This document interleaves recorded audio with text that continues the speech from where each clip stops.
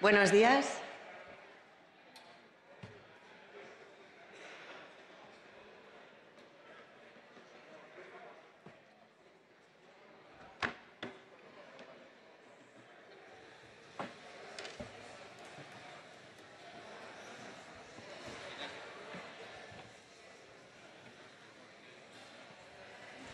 Buenos días, señorías.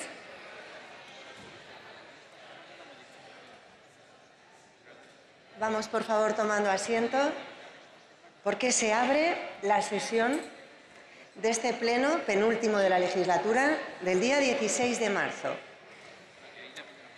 Comenzamos, señorías, con el primer punto del orden del día, preguntas de respuesta oral al Gobierno, regulado por el artículo 193. Como conocen, seis minutos, no se puede exceder seis minutos, dos intervenciones respecto al diputado que formula la pregunta, miembro del Gobierno que responde. Comenzamos con las preguntas dirigidas a la presidenta del Gobierno. Formula la de Unidas Podemos la señora Jacinto. Adelante. Gracias, presidenta. Buenos días, señora Ayuso. Le pregunto si cree que las residencias de mayores en la región cuentan con la atención adecuada, con la calidad adecuada, con los profesionales suficientes y lo primero que quiero pedirle es que se tome usted un minuto antes de contestar y que mire usted a familiares de residencias que hoy nos acompañan aquí en la Comunidad de Madrid, familiares que tienen a sus mayores, padres, madres de 80 años en una residencia. Familiares que han esperado meses, incluso años, para hasta conseguir una plaza pública y que cuando por fin la han conseguido no han encontrado en esa residencia un hogar sino una pasarela a la muerte, como dijo una de las familiares, Seila, cuando la acompañé la semana pasada a visitar la residencia Francisco de Vitoria en Alcalá de Henares. Muchas gracias. Tiene la palabra la señora presidenta del Gobierno. Muchas gracias, señoría. Muy buenos días. Las residencias de mayores tienen sus necesidades cubiertas, pero desde luego tiene que estar en nuestra mano mejorarlas porque es nuestra obligación y un compromiso de mi Gobierno. Gracias. Señora Jacinto, tiene la palabra. Mire, señora Ayuso, esta semana usted y su Gobierno han anunciado una campaña publicitaria que se llama Mi residencia es mi casa. Y yo quiero preguntarle, quiero hacerle tres preguntas. Si usted en su casa, cuando invita a comer a un familiar, puede sentarse a la mesa con usted o le obligan a tener que mirarle detrás de una mampara, detrás de un cristal. Si usted en su casa puede abrir el, grifo del agua y beber agua del grifo con normalidad, sin riesgo a contraer legionela o si usted en su casa disfruta de poder comer alimentos frescos, alimentos en buen estado, verduras, frutas, carne o pescado, o si por el contrario les da esto señora Ayuso. Comida podrida, comida podrida, en este caso una coliflor podrida, es lo que están dando ustedes a muchos mayores de las residencias públicas de la Comunidad de Madrid. Mire, señora Ayuso, yo he tenido, como muchas personas, una abuela que ha estado un tiempo en una residencia y si de verdad a mi abuela ustedes le hubieran dado comida en esas condiciones, comida podrida, no se lo hubiera perdonado jamás. Pero es que además si mi abuela hubiera sido una de las 7.291 personas mayores que fallecieron durante el COVID como consecuencia de sus protocolos de la vergüenza, no solo no se lo hubiera perdonado jamás, sino que no descansaría hasta conocer y hasta exigir verdad y justicia, como está haciendo Marea de Residencias, como está haciendo Pladigmare, como está haciendo la plataforma Verdad y Justicia.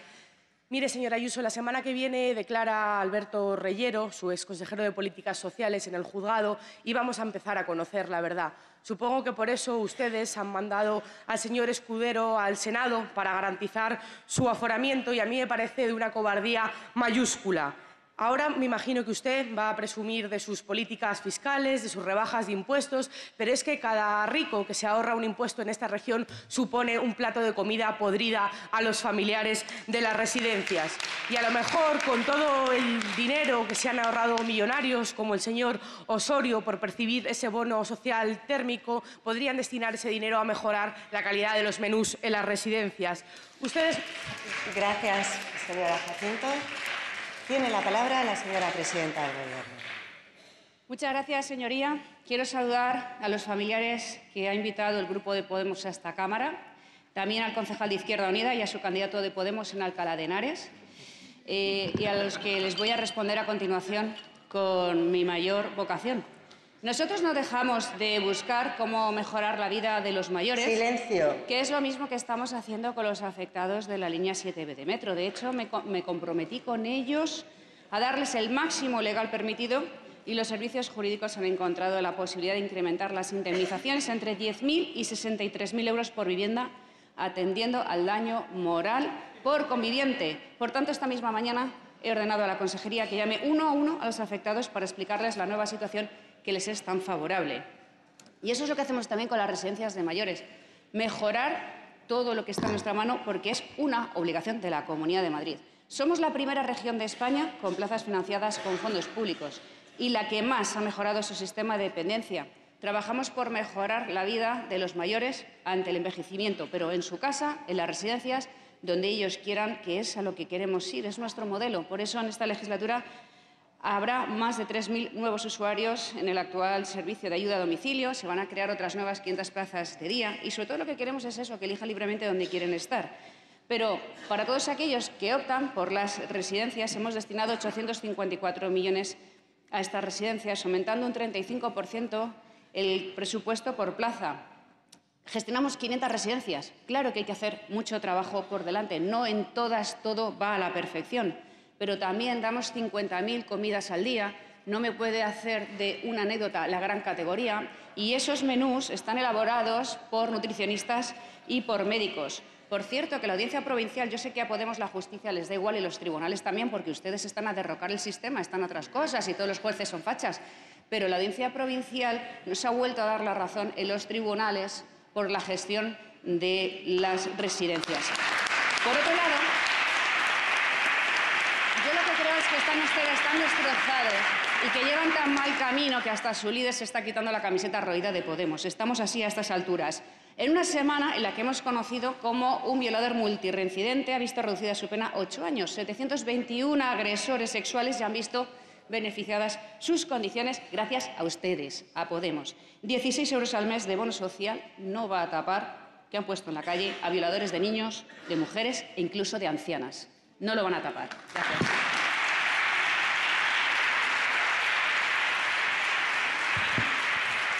La señora Monasterio, Grupo Vox, toma a continuación la palabra. Gracias, presidente. Buenos días. Buenos días, presidenta. Mire, cuando caminamos por los barrios lo que vemos es que el comercio, la pequeña empresa cada día está peor, cada día se estrechan los márgenes, la materia prima sube de precio, eh, las cotizaciones sociales también, los gastos energéticos y muchos pues no aguantan más, dicen que ya no pueden seguir. El comercio es fundamental para establecer lazos y para que reconozcamos nuestros barrios, para dar seguridad a las calles, para que no se conviertan inseguras. Y tenemos que cuidarlo. Los pequeños comercios, las pequeñas empresas no soportan la carga de burocracia que existe, la superposición de normativas. Cuando no le entran por sanidad, le está entrando una inspectora de tema laboral, cuando no un plan de igualdad, cuando estamos continuamente abrasando a la pequeña empresa. Llegan un momento en que no tienen incentivos para crecer, tienen pánico a superar los 50 empleados y trabajadores, porque esto supone todavía más carga de burocracia y es fundamental fomentar el crecimiento de la pequeña empresa mediana, de la mediana a grande. Y esto no se favorece con lo que hacen los gobiernos. Como dicen los cubanos cada día, menos clase comerciante y cada día más clase gobernante, que es a lo que vamos. Y, le voy a dar tres ejemplos, tres ejemplos muy claros. Con su ley trans, por ejemplo, con el artículo 27F, usted favorece a aquellos que tengan planes de igualdad y contrate a personas trans e incluso en las pymes. Las nombras, se entromete usted en las empresas a hablar con la ley trans hasta el último rincón de las empresas. Usted favorece los pliegos a aquellos que tengan contratadas personas trans con su ley trans que no quiere derogar. Deje usted de favorecer colectivos, deje a la gente trabajar en paz. Segundo, por desgracia, vamos, con esta ley que quiere usted aprobar, que favorece al que viene a montar un kebab y compra un inmueble por 300.000 euros y le va a bonificar con 60.000 y en cambio al madrileño que lleva aquí siempre, usted no, le va a discriminar y solo le bonifica con 7.000, lo que está promoviendo es la desigualdad, la desigualdad. No puede usted dar más ventajas al que viene de fuera al que ya está aquí.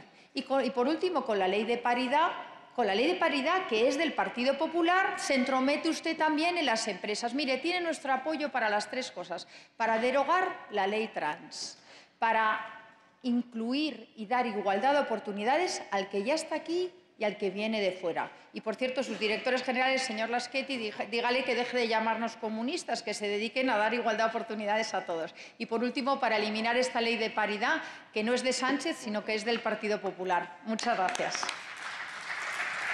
Tiene la palabra la señora presidenta. Muchas gracias.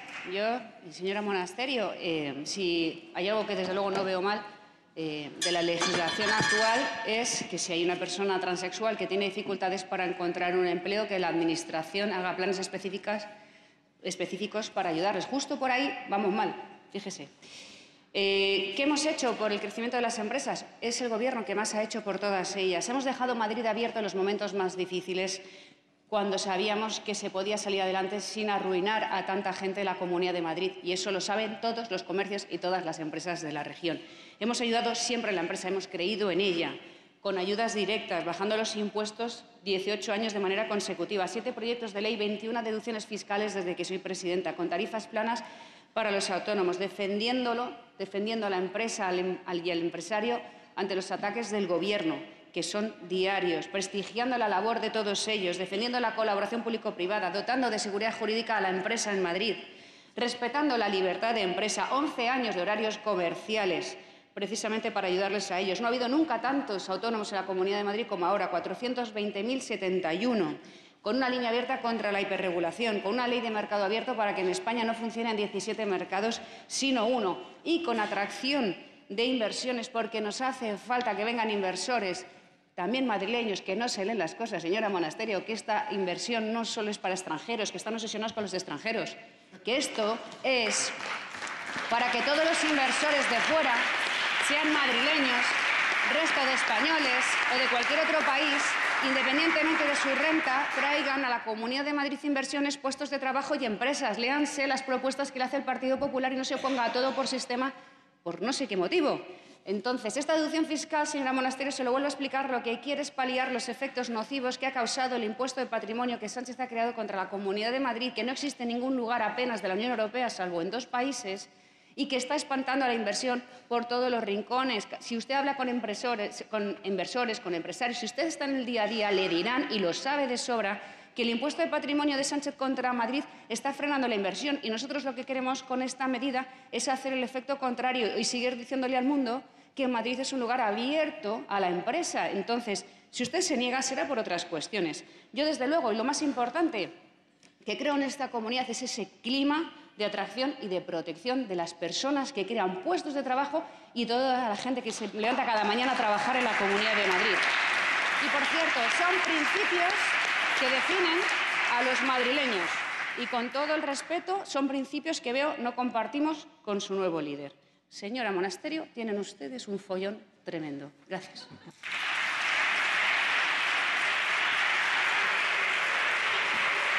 Es el turno del Grupo Socialista. Señor Lomato, formula su pregunta. ¿Sí? ¿Se oye? Buenos días, señora Ayuso. Si repasamos las últimas 40 sesiones de control en la Asamblea de Madrid, resulta que en 37 usted no se ha enfocado en Madrid, está en otra. Prometió cuidar la sanidad y ha incumplido.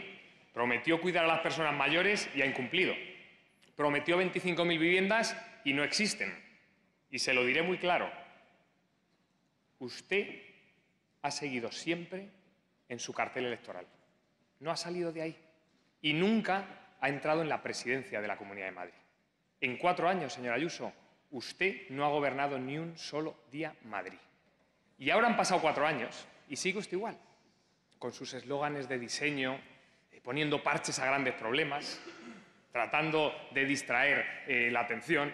Y esto no es lo que necesita Madrid, señora Ayuso. Está usted en lo que más le gusta, en, pelearse, en, en eh, entretenerse con su show, pero Madrid necesita seriedad. Y seriedad es escuchar, aprender, entender, cumplir, respetar las instituciones. Yo cuando hablo o propongo algo, intento ser siempre respetuoso, coherente y serio. Y es difícil, claro. Decir lo mismo hoy que hace un año, tratar y exigir lo mismo a los tuyos que a los demás. Pero hablemos de seriedad y de coherencia. Mire, ¿sabe lo que es esto? Esto es la factura de la luz de mi casa. ¿Sabe lo que pone aquí que pagamos mi mujer y yo? Lo mismo que el resto de españoles. Financiamos con un importe concreto el bono social. No engañemos a nadie. El bono social no lo paga ningún gobierno, lo pagamos los españoles con nuestra factura. Eso es que lo pagamos. Y de él se benefician muchas familias que efectivamente lo necesitan. Pero también, pero también de ese bono social hemos visto que se benefician algunas personas que sin necesitarlo se dedican por el día a criticar esas ayuditas, ayuditas para ganar votos y por la noche se dedican como vampiros a pedirlas todas y a no dejarse ni una. Y no engañen a nadie, no engañen a nadie, no engañen a nadie. Esta ayuda, el bono social, no engañen a nadie, hay que pedirlo. Esto no es automático, esto hay que pedirlo. Lo sabe todo el mundo que lo tiene, lo sabe y sabe cuál es la prueba. ¿Sabe cuál es la prueba? Que quien lo pide, lo cobra. Y quienes no lo pedimos, no lo cobramos. Esa es la diferencia. Esa es la diferencia. Señora Ayuso, señora Ayuso, seamos coherentes y serios. En Madrid tenemos que relanzar la sanidad pública, que ayudar a los jóvenes a emanciparse, que ayudar a que el transporte funcione mejor, que los coles estén abiertos para las familias. Y en eso vamos a estar nosotros y nuestro equipo, en dar la cara por Madrid y por los madrileños, señora Ayuso. Tiene la palabra la señora presidenta del Gobierno. Muchas gracias, señor Lobato. Hasta que no enseñen las facturas del Ramsés en la Comisión de Investigación en el Congreso, no está para hablar del gasto público, del dinero de los demás. Mire, siguiéndome su pregunta, que no sabe nunca aterrizar ningún tema, le diré que el 95% de nuestro programa está cumplido o en, o en fase de ejecución. Hemos recuperado el 100% del Producto Interior Bruto perdido durante la pandemia. Somos la región líder en creación de empleo y de oportunidades. Durante mi mandato hemos creado 25.000 plazas nuevas públicas en formación profesional, superando por segundo año consecutivo el número de alumnos que están estudiando bachillerato. Tenemos las mejores cifras en extinción de incendios. Estamos ampliando la red de metro y en la construcción de cuatro intercambiadores, buscando mejores aportaciones y soluciones para los enfermos, por ejemplo, de la ELA, cuidando de la conciliación con nuevas medidas, ayudando para que los niños puedan mejorar su alimentación en el colegio y que el transporte llegue a todos, buscando el pleno empleo, que es el objetivo de mi Gobierno. Y muy importante también, proyectando la imagen internacional de Madrid. ¿Qué hace usted? Utilizar la línea 7B para pasear a los miembros del Consejo de Gobierno de Ministros de su partido, mientras su alcalde ha sido incapaz en todos estos años de crear una sola vivienda, una sola condición para que los jóvenes y las familias de San Fernando puedan quedarse allí a vivir. Bloquean el plan Vive, que es una solución muy necesaria para los jóvenes y lo hacen algunos ayuntamientos por cuestiones políticas, como hacen en Móstoles o en San Sebastián de los Reyes. Un de las cercanías. ¿Se acuerda de las cercanías, señoría? Que eso es una gestión suya, mucho verbalizarlo, pero ¿qué hace usted cuando habla en Moncloa y pone pie en pared y diga y dice vamos a solucionar un problema que afecta diariamente a centenares de miles de madrileños y de empresas. Nunca, mientras se llevan organismos de la Comunidad de Madrid por parte de su partido que dice absolutamente nada, le mete un nuevo impuesto que arruina la inversión, calladito también. Y no digamos nada de la seguridad, que la seguridad de la Comunidad de Madrid es su responsabilidad y no se están haciendo las cosas bien. Pero mire, lo más importante esta semana, que les veo que se están olvidando de las lagunas importantes, veo que cuando conviene hablamos de unos temas y de otros, el más importante es que han imputado a su alcaldesa de Móstoles y a siete concejales acusados por y por indicios de alta criminalidad. Encima, en un municipio donde lleve sobre mojado por nepotismo, por no decir de su alcaldesa de Alcorcón, que está inhabilitada, que ha sido condenada, y ahí la tiene, señoría, como si no pusiera nada. Y eso es lo que proponen para el sur de la Comunidad de Madrid. Más suciedad, más paro, más inseguridad, más descrédito y encima corrupción. Y eso es lo que hacen ustedes en los municipios donde están gobernando en la Comunidad de Madrid. Así que, señor Lobato, solucione primero Móstoles y Alcorcón si quiere presentarse limpio ante los ciudadanos en las elecciones.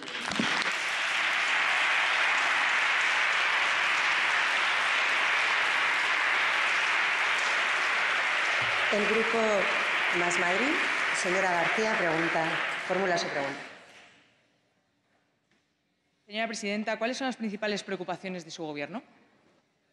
Señora presidenta, tiene la palabra. Muchas gracias, señoría. Me ocupo de la Comunidad de Madrid, de sus servicios públicos y de conseguir el pleno empleo para todos los madrileños. Gracias. Tiene la palabra, señora García. Mire, señora Ayuso, le digo una cosa. Todo es más fácil cuando se es un cínico. Ustedes no tienen nunca ningún problema ético porque ustedes son incapaces de eh, reconocer un error y de pedir perdón.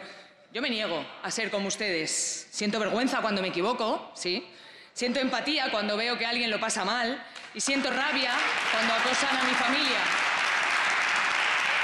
Ojalá usted Señor Osorio, que se lleva las manos a la cabeza mientras no vería pobres, ojalá ustedes hubieran reconocido el error de dar telepizza a los más vulnerables durante 50 días. Ojalá ustedes hubieran reconocido el error de los protocolos de la vergüenza que sentenciaron a 7.291 mayores a morir indignamente. Ojalá usted hubiera reconocido el error de darle una mordida a su hermano. Ojalá ustedes hubieran reconocido el error de desguazar la atención primaria e insultar a los profesionales. Ojalá hubiera pedido perdón por herir el orgullo de nuestra sanidad pública, nuestra joya de la corona. ¿De verdad ustedes pueden vivir tan tranquilos sabiendo que han hecho desaparecer al 30% de los pediatras de nuestro sistema sanitario? Esa es la diferencia entre usted y yo. Yo no podría.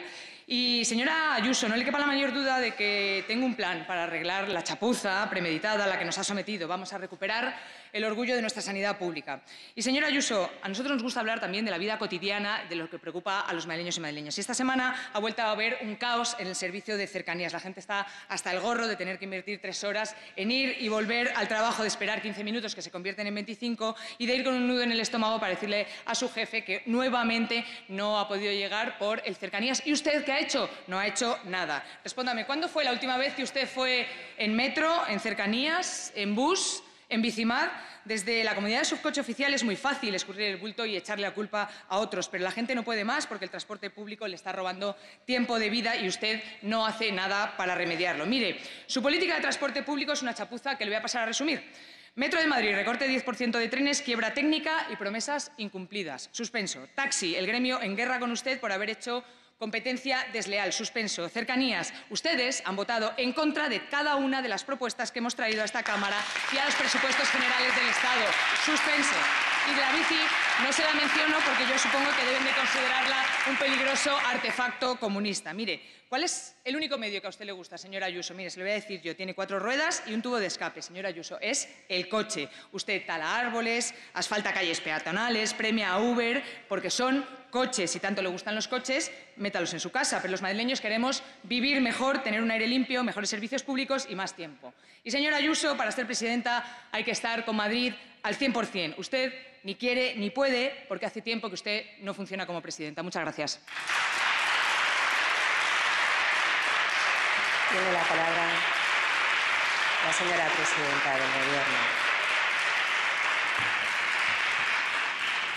Gracias, señoría. Va a ser incapaz de acabar cuatro años de dos legislaturas sin hacer nunca acusaciones personales. Bueno, ahora vamos a hablar de ello. Mire, mi Gobierno no deja de trabajar y de aportar en positivo y de sumar. Veo que ya no nos interesa tanto la sanidad pública, ¿eh? Diez segundillos que le he dedicado. Pues mire, hoy se afirma, fíjese qué mal día para usted, el acuerdo por el que se desconvoca la huelga sanitaria en primaria en Madrid. No tenía sentido esta situación.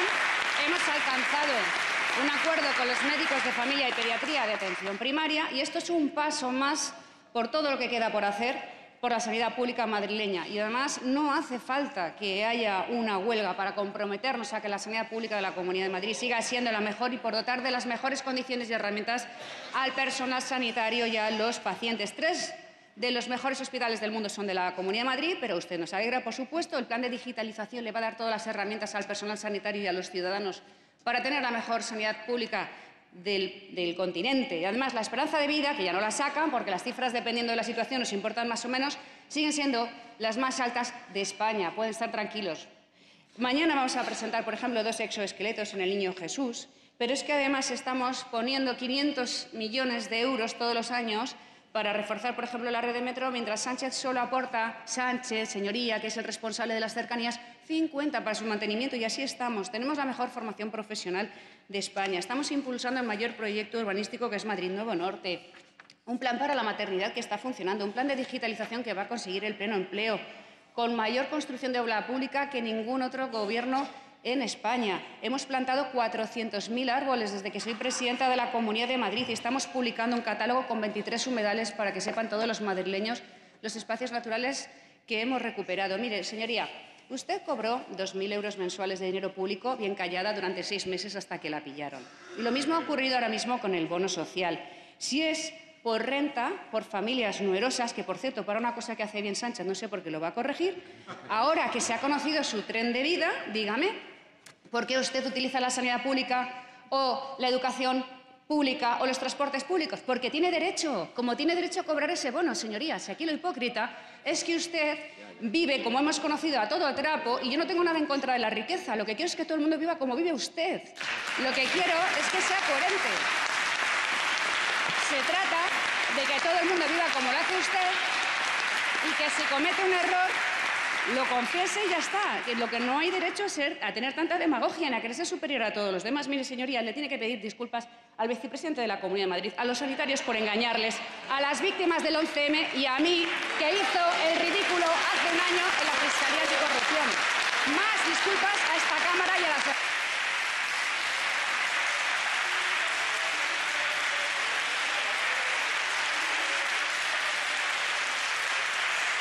Señor Sánchez.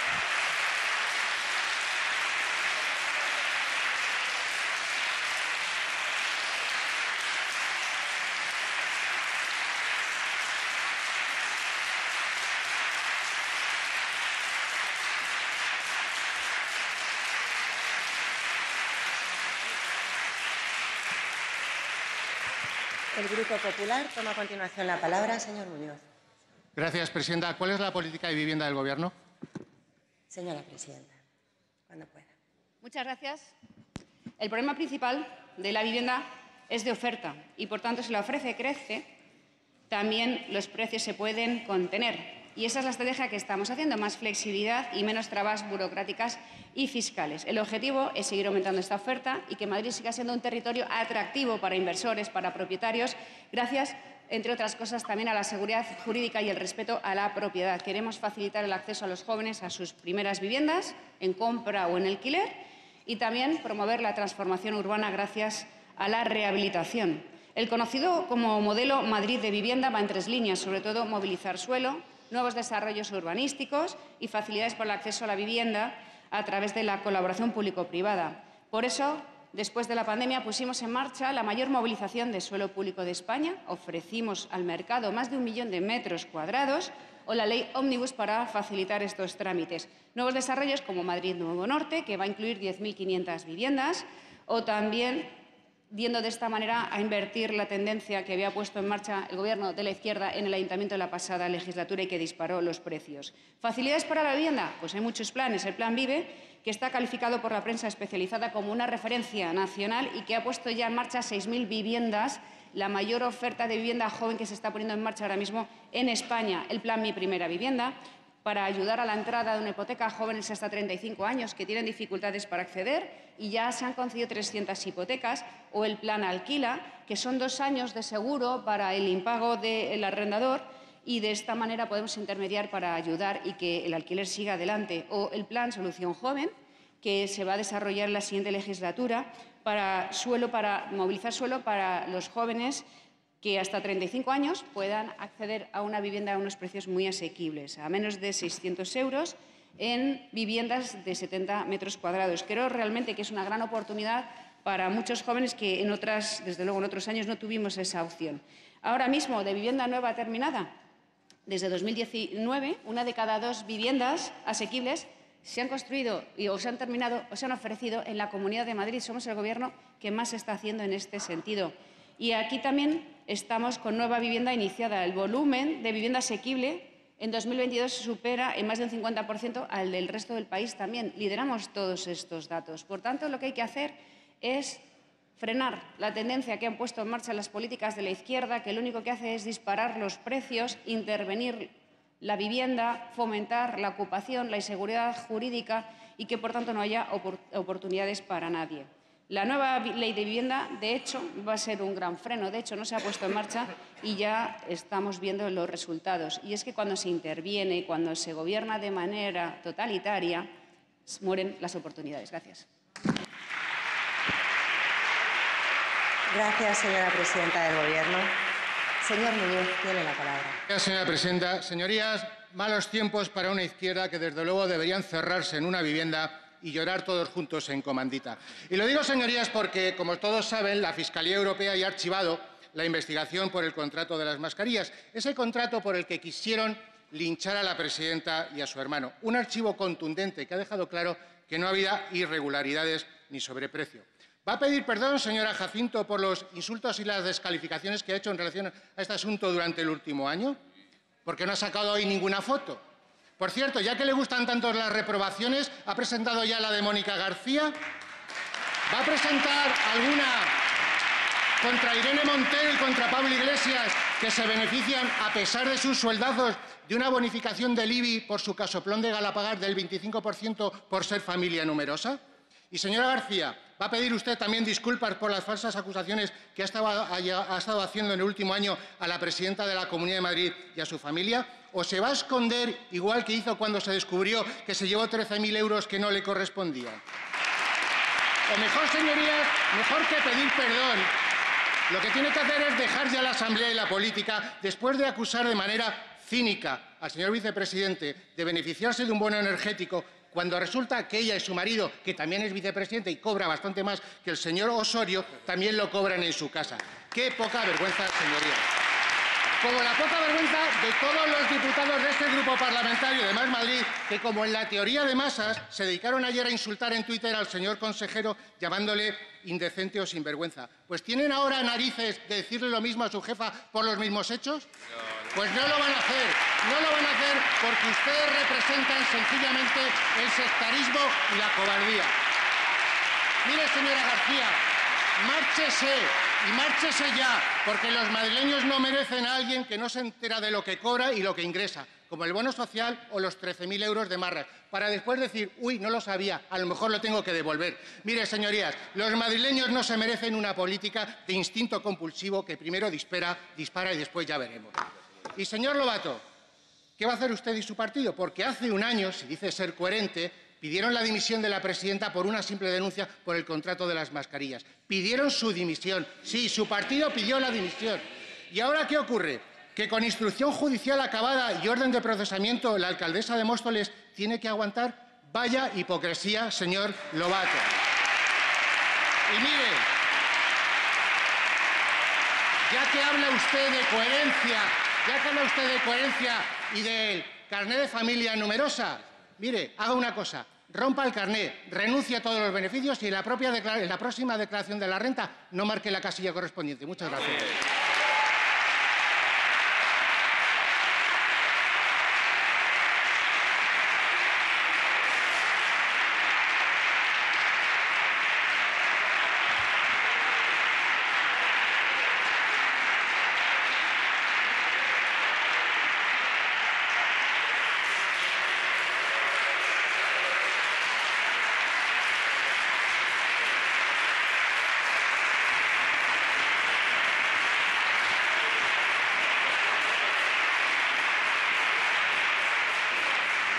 Pasamos, señorías, a las preguntas dirigidas a los miembros del Gobierno. Eh, comenzamos con las tres que se formulan al señor vicepresidente y consejero de Educación y Universidades. Señor Moreno, Unidas Podemos, toma la palabra. Eh, buenos días, presidenta. Buenos días, consejero Osorio. Volvamos a lo importante. ¿Qué hace la Comunidad de Madrid para garantizar la coeducación aquí? Tiene la palabra el señor viceconsejero. Muchas gracias, presidente, y muchas gracias eh, eh, señor Moreno. Vamos a lo importante. La coeducación se garantiza con una gran red de educación sostenida con fondos públicos, gratuita, de calidad, en la que se respete, por una parte, la autonomía de los centros educativos para desarrollar distintos proyectos y la libertad de elección de las familias para elegir el centro o el tipo de educación de sus hijos y sin sectarismos. Muchas gracias. Señor Moreno, tiene la palabra.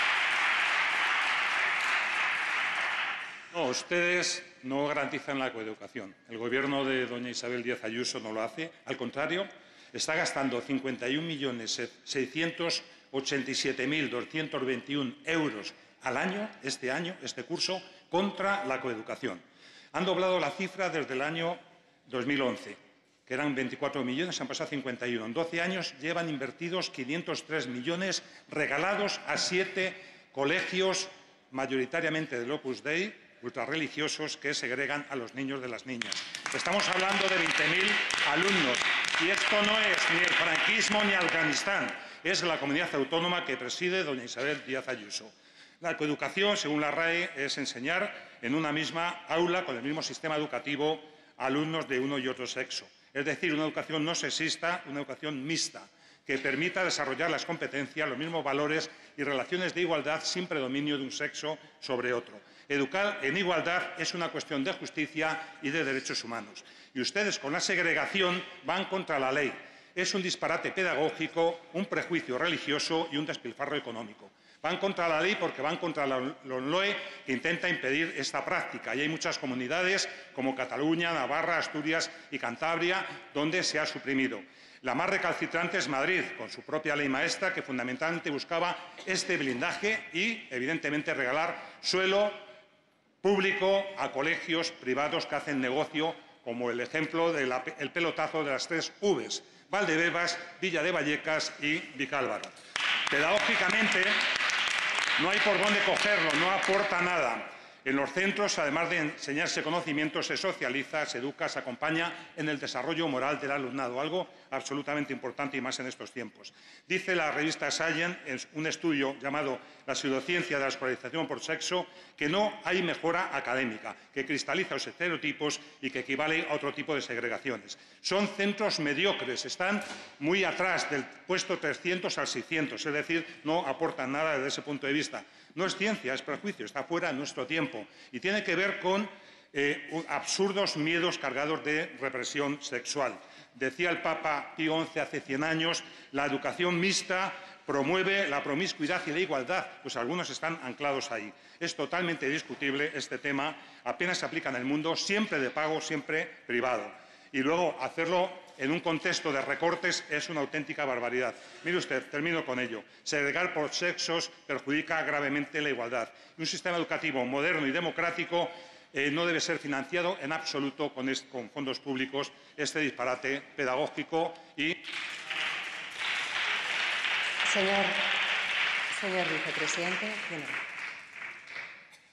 Muchas gracias. Señor Moreno, uno de los pilares de nuestro sistema educativo es la igualdad entre todos los alumnos, sean niños, niñas, vivan donde vivan, provengan de las familias que provengan. Y nuestro papel es ofrecer un sistema educativo de calidad, que incluya todas las oportunidades para que esos alumnos cumplan sus sueños. Para lograrlo, en Madrid siempre hemos estado al lado de la libertad de elección y la libertad pedagógica. Por eso apoyamos ese modelo que usted tanto critica de educación diferenciada, igual que apoyemos otros, como apoyamos el bilingüe, que está implantado en más de la mitad de nuestros centros, como apoyamos el STEM, precisamente para despertar vocaciones científicas y especialmente en las niñas, o de Internet internacional o el de excelencia. Y si tenemos 11.000 alumnos escolarizados en educación diferenciada, es, mire, primero, porque sus familias confían en ese modelo, porque hay centros que quieren llevarlo a cabo y porque no hay evidencia pedagógica, científica, aunque usted diga eso, que demuestre que no son eh, acertados ese tipo de educación. ¿Quiénes somos usted y yo para suprimirlo Usted sabe perfectamente que no es ilegal eso. Primero, porque nos apoya la ley maestra. Segunda, porque se prorrogaron los decretos hasta el año 2027 de los conciertos. Y tercero, porque el Constitucional siempre ha defendido este modelo y ha considerado que defendía la igualdad. Además de aprender contenidos en la escuela, señor Moreno, se va también a tratar con personas distintas. Así aprendemos a respetar, a debatir, a dialogar Y en los centros lo que hacemos es centrarnos en erradicar cualquier tipo de violencia, de acoso, de odio, de discriminación y normalizar, por supuesto, la situación de las, personas LGTBI. Estamos a favor del esfuerzo y de la excelencia y radicalmente en contra de las políticas de falsa igualdad. ¿Cree que, por ejemplo, Margarita Salas, que llegó a lo más alto dentro de la ciencia con ese prestigio internacional, llegó ahí por pasar con ocho suspensos en los cursos? Por supuesto que no.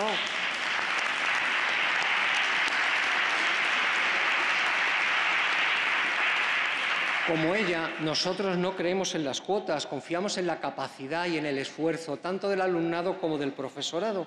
Las medidas discriminatorias siempre llevan asociados efectos perversos.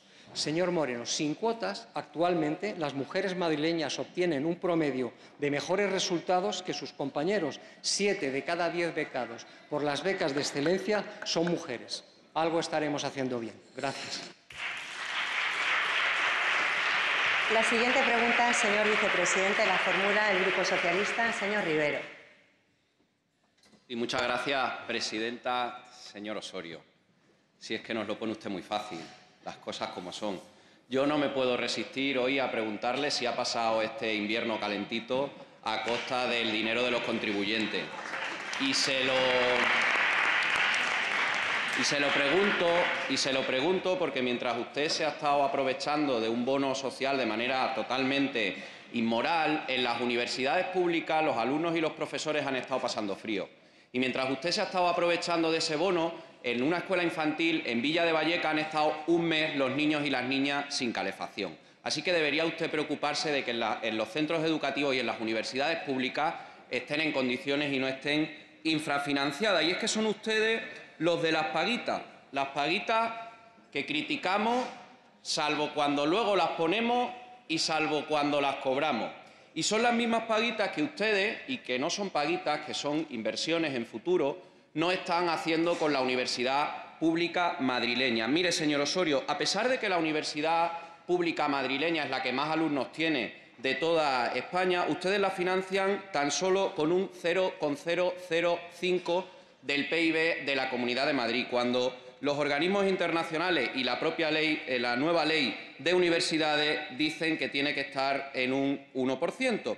Y luego llorarán, porque ustedes también lloran, señora Brines, y llorar no pasa absolutamente nada, no pasa absolutamente nada por llorar, no hay que criminalizar la muestra de sentimiento. Pero luego llorarán y me dirán que es que, claro, como Vox no les ha aprobado los presupuestos, ustedes no tienen financiación para financiar de manera solvente y suficiente a las universidades públicas, pero luego se sacan dinero de la manga para suprafinanciar a la educación concertada, señor Osorio. Es decir, sí que tienen dinero, tienen dinero para lo que quieren porque es su plan político. Y miren, las universidades públicas madrileñas se han estado financiando en los últimos años gracias a más de 30 pleitos que le han ganado a la Comunidad de Madrid por inversiones prometidas y que no lo han cumplido. Lo que debería hacer usted, señor Osorio, es sentarse con las universidades públicas madrileñas, establecer un plan de inversión plurianual y si quiere aportar dignidad a la educación pública madrileña debería dimitir.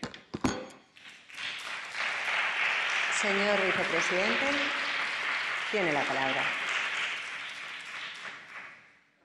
Señor Rivero, es valiente que plantee hoy esta cuestión en la Asamblea cuando acaban de aprobar la peor ley universitaria de la historia. No lo digo yo, lo dice el rector de la Universidad de Salamanca. Abro comillas. Un bodrio, una ley nefasta. Nos han dado gato por liebre y va a generar muchos problemas va a perturbar el funcionamiento de los campus y produce efectos contrarios a los pretendidos. La LOSU es otra ley del señor Sánchez para contentar a sus socios y a sus amigos, hecha sin el consenso de los que tenemos las competencias, pero sí con el apoyo de los independentistas catalanes y del señor Iglesias, que en dos telediarios podría llegar a ser rector. Tenían ustedes la gran oportunidad de modernizar y fortalecer el sistema universitario español y en lugar de eso han, preferido la politización y el descrédito. Son muchas las críticas que se pueden hacer a la nueva ley, pero como usted me lo plantea desde el punto de vista de la financiación, le digo, es otra vez una ley del yo invito y tú pagas. En la memoria ustedes estiman 52 millones de coste para todas las universidades de España. Vamos a ver cuáles son las repercusiones en Madrid. Para alcanzar el 1% de nuestro PIB que han propuesto, habría que invertir cada año 1.200 millones de euros. Eso es el doble de la actual nominativa que tienen las universidades. ¿Quién los va a pagar, señoría? Una cantidad que es desorbitada incluso para ustedes, porque las enmiendas del presupuesto ustedes han planteado 120 millones, no 1.200 millones de euros. Y para contentar a los socios nacionalistas, la LOSU permite dar más financiación por las eh, lenguas cooficiales. Es decir, que si ahora ya la aportación de Sánchez a las universidades en Madrid es la mitad que en Cataluña, ahora lo van a poder hacer por cumplimiento de la propia ley.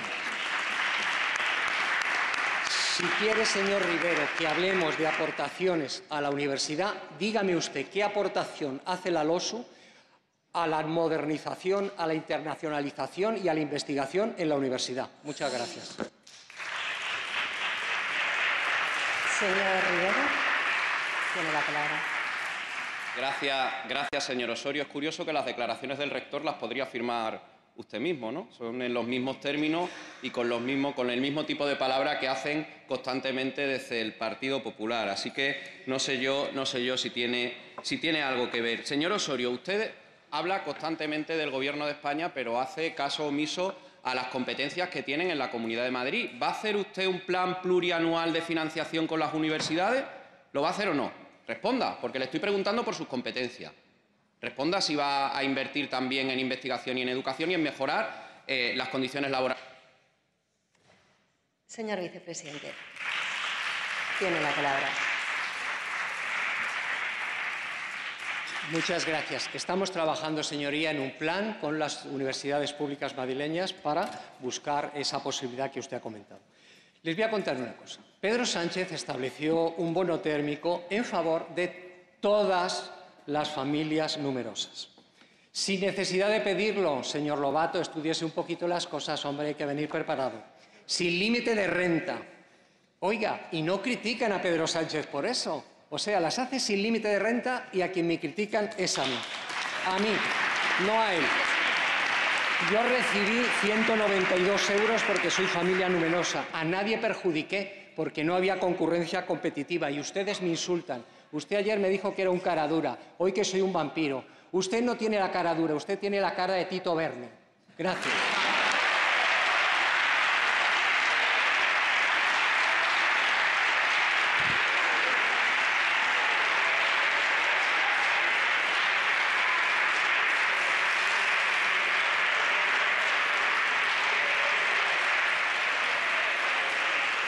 La señora Bernardo, el Grupo Socialista, formula su Gracias, pregunta. gracias presidenta.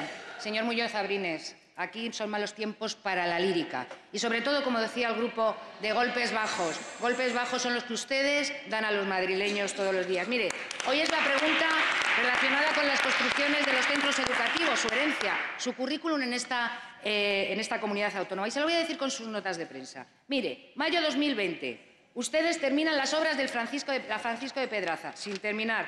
Julio de 2020.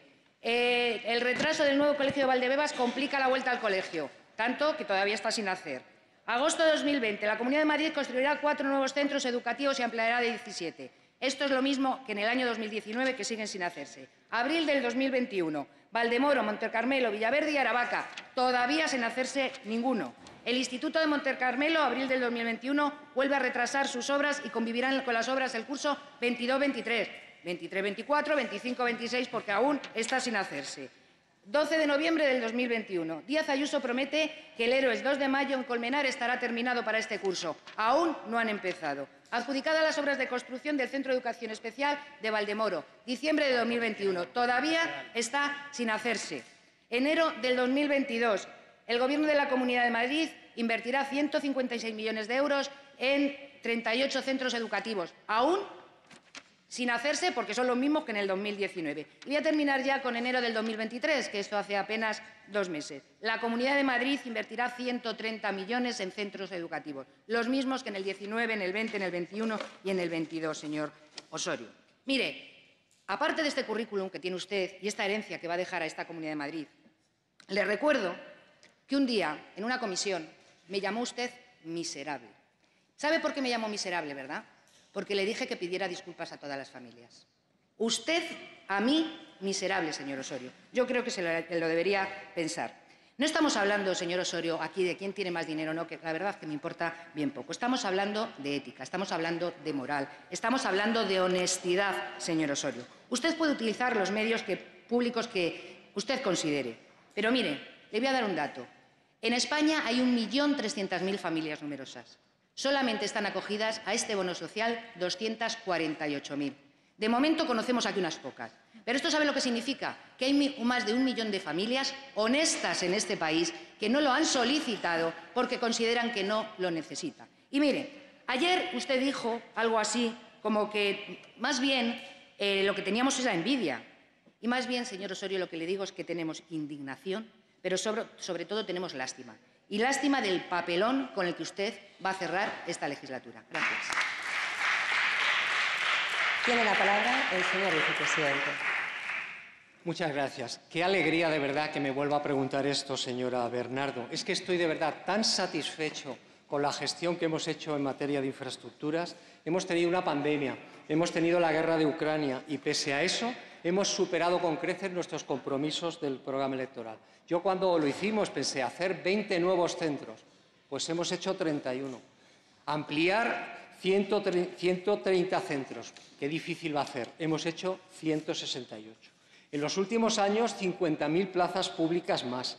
Este año vamos a invertir, pese a la prórroga presupuestaria, 130 millones en 33 centros y otras 12.000 plazas. El año pasado, al igual que los anteriores, ejecutamos el 90% de la partida de infraestructuras. Por tanto, no vuelvan a mentir otra vez diciendo que siempre son las obras las mismas. Si todos los años ejecutamos las obras del presupuesto al 90%, no pueden ser las mismas todos los años.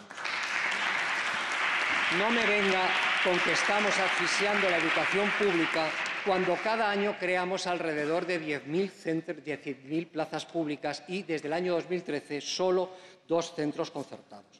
Durante estas dos legislaturas, señora Bernardo, nos hemos centrado en terminar los centros, en programar los nuevos como máximo en dos fases y algunos en una fase, Blanca Fernández Ochoa, Butarque, Valdebebas y otros más en crear plazas gratuitas en centros de 0 a 3. Nos ha felicitado hasta la alcaldesa de Getafe, que nos ha pedido que los tengamos de 0 a 17.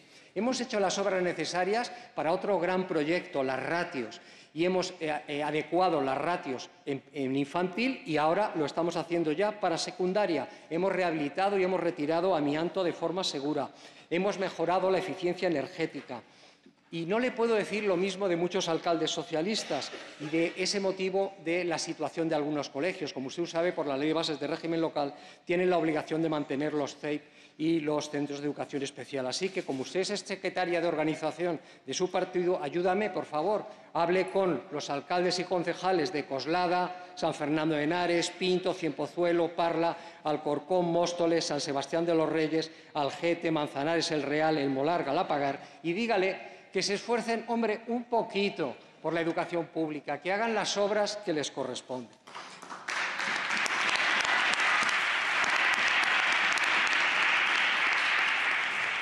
Y de verdad, ustedes son muy generosos conmigo. Yo he estado cuatro años haciendo toda esta labor, hemos construido centros, tomé decisiones muy difíciles durante la pandemia y que mi mayor pecado haya sido cobrar 192 euros por ser familia numerosa, ustedes de verdad son muy generosos. Le aseguro que he metido la pata en muchísimas cosas más, pero de verdad se lo agradezco. Gracias.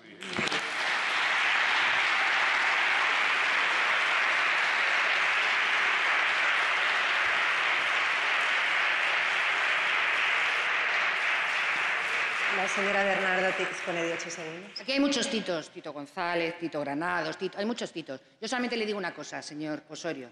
Pida disculpas a las familias.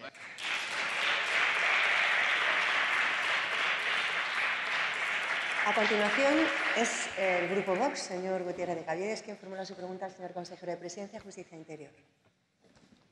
Gracias, señora presidenta. Señor consejero, le pregunto por la ciudad de la justicia, ya terminando la legislatura, parto de dos presupuestos. Uno, que la unificación de sedes es necesaria, nunca lo hemos discutido porque no lo discute ningún profesional de la justicia. Y dos, tampoco discutimos la colaboración público-privada y el modelo concesional, que está justificado cuando el coste para la Administración es menor que hacerlo por obra propia vía endeudamiento. Lo que queremos únicamente es que esa operación se haga con legalidad, con honradez, con transparencia y con eficiencia. ¿En qué momento estamos ahora? Pues después de quedar totalmente desierto el concurso, incluso después de prorrogarse el plazo, se abrió un procedimiento negociado sin publicidad, porque lo permite la ley, sí, y lo que le quiere preguntar es cuáles van a ser las condiciones de ese contrato como resultado de esa negociación. No le pregunto lo que dice la ley, que, ya me lo sé, ni le pregunto lo que se ha publicado, un año para el proyecto y tres para la obra, sino lo que se ha negociado y lo que se va a hacer. Muchas gracias. Tiene la palabra el señor consejero.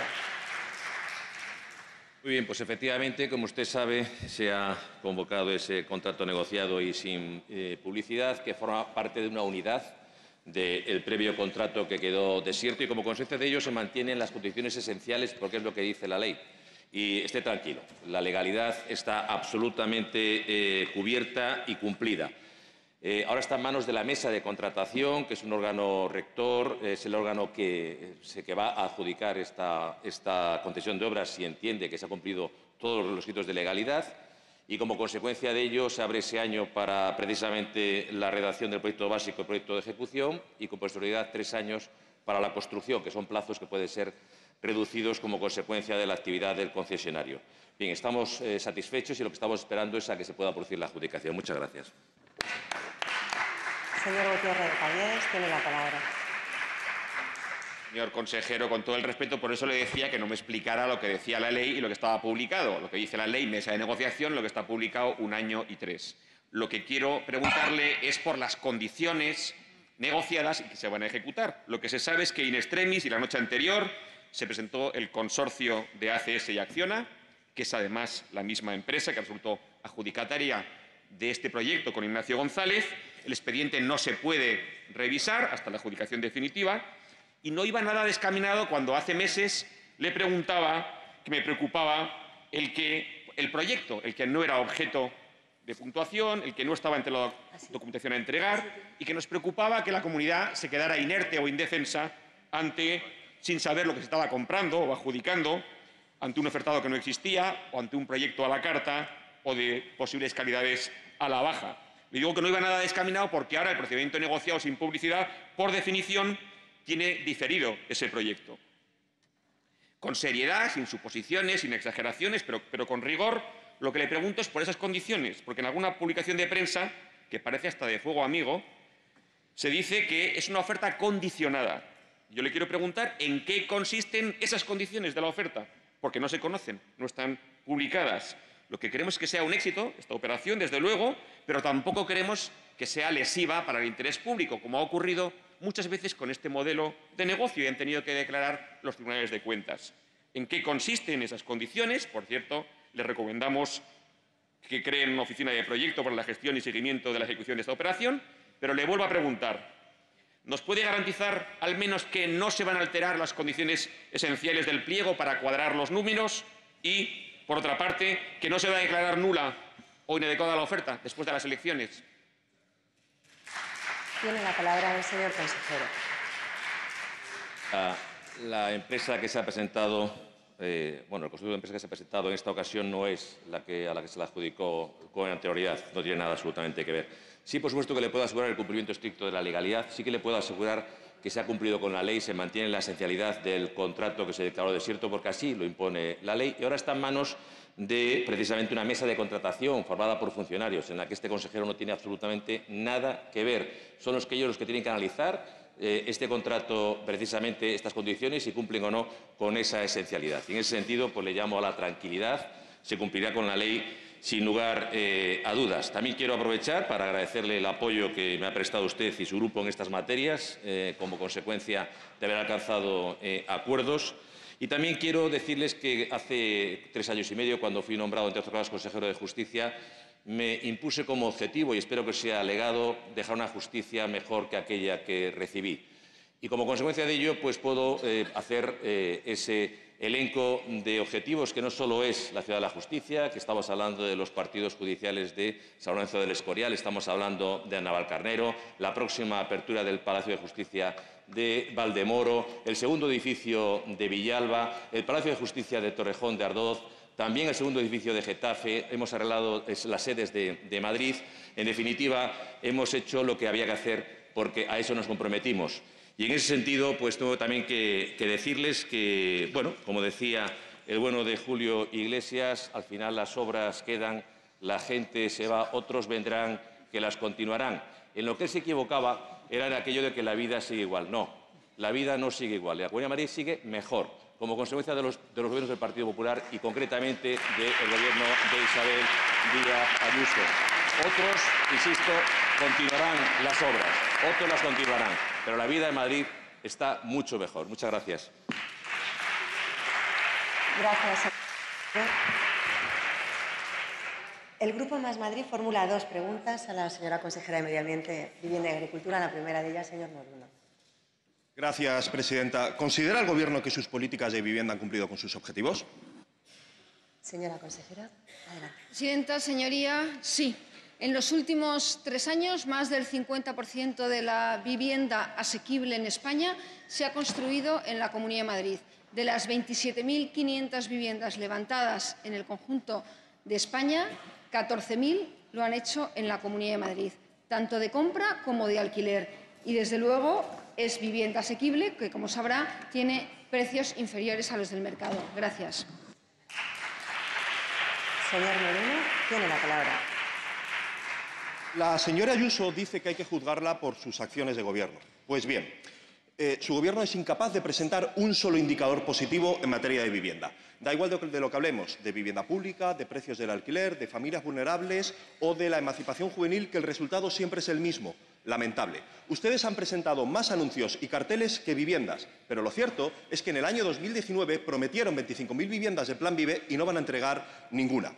Ustedes suelen repetir que la Agencia de la Vivienda Social es su buque insignia, pero lo cierto es que tienen abandonadas a los vecinos de Alto San Isidro que están chapoteando en aguas fecales y a los del embalse del Bellón que tienen que convivir con mafias. La señora Ayuso ha conseguido hundir todavía más a la vivienda pública y le ha puesto el broche de oro a la venta ilegal de vivienda social, indemnizando al fondo buitre de Goldman Sachs con 109 millones de euros. Ustedes siempre se llenan la boca hablando de vivienda protegida, pero lo cierto es que la cifra está desplomada, la poca que se construye es privada y por culpa de su nefasta gestión, los madrileños hemos perdido otros 30 millones de euros en derrotas judiciales con las constructoras de la vivienda protegida. Ustedes siempre se pasan el día pontificando sobre lo que hacen o dejan de hacer otros países y otras comunidades, pero lo cierto es que con su política de vivienda han colocado a Madrid a la cabeza de toda España en el precio del alquiler. Ustedes se pasan el día sacando... Sí, mírese los datos de Fotocasa del último mes de febrero.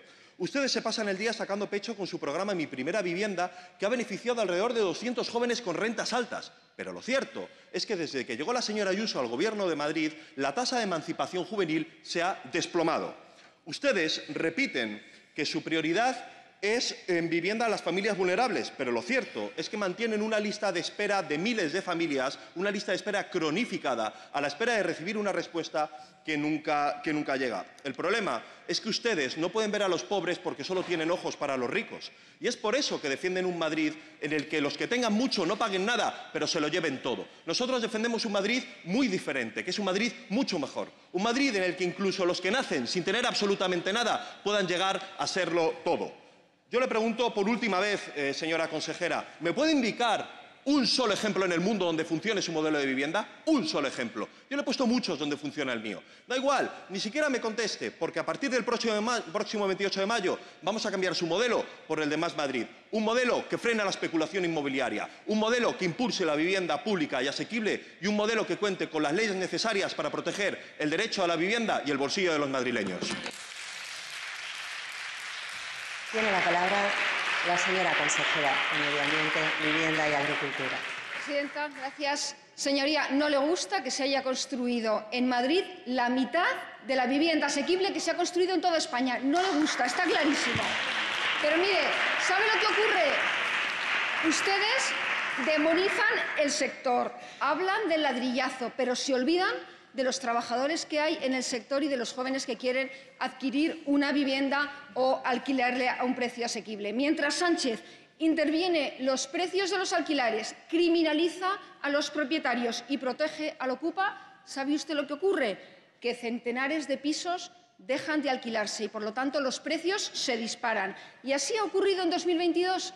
Señoría, que la oferta ha bajado en España un 17% y se ha incrementado el precio del alquiler un 8,4%. ¿Y saben qué comunidades autónomas se ha incrementado más?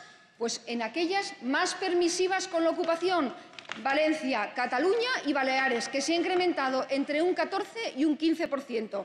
Desde el Gobierno de la Comunidad de Madrid trabajamos con políticas eficaces que ayudan a incrementar la oferta de vivienda como vía para contener los precios, sacando suelo al mercado, impulsando los desarrollos urbanísticos como Valdecarros, Berrocales, Aijones, Madrid Nuevo Norte, de forma que entre 2023 y 2027 se van a levantar en nuestra región 35.500 viviendas a precio asequible y, desde luego, damos respuesta a los más jóvenes. Sí, a través del Plan Vive, 6.600 viviendas que se están construyendo.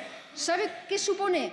Que superamos con estas 6.600 viviendas el 50% de las viviendas asequibles que se han iniciado en España en 2021.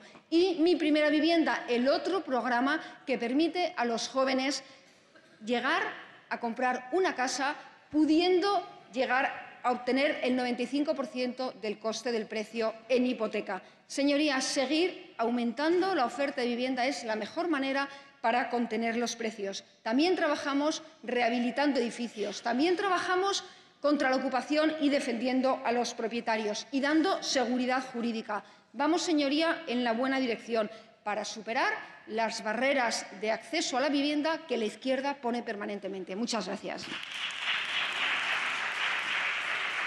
La siguiente pregunta, también el Grupo Más Madrid, la formula el señor Fernández. Gracias, presidenta. Le pregunto si tienen pensado desarrollar la ciudad de los 15 minutos en los municipios de la ciudad de Madrid. Tiene la palabra la señora consejera. Gracias, presidenta. Señoría, sería muy útil ¿no? que explicara las tres ideas que hay detrás de la ciudad de los 15 minutos, el cronourbanismo, la cronotopía y la topofilia. Y diga a los madrileños que la izquierda radical, además de determinar qué comer, cuándo encender la luz, dónde estudiar o dónde comprar, van a obligarnos también a los madrileños a vivir de una determinada manera conforme a su planificación urbanística. Muchas gracias. Señor Fernández, tiene la palabra. Bien, señorías, les confieso que cuando Rita Maestre presentó un plan para que Madrid siguiera el modelo de desarrollo de ciudad de los 15 minutos, no podíamos esperar que esto iba a desatar una avalancha de reacciones conspiranoicas por parte de la derecha madrileña.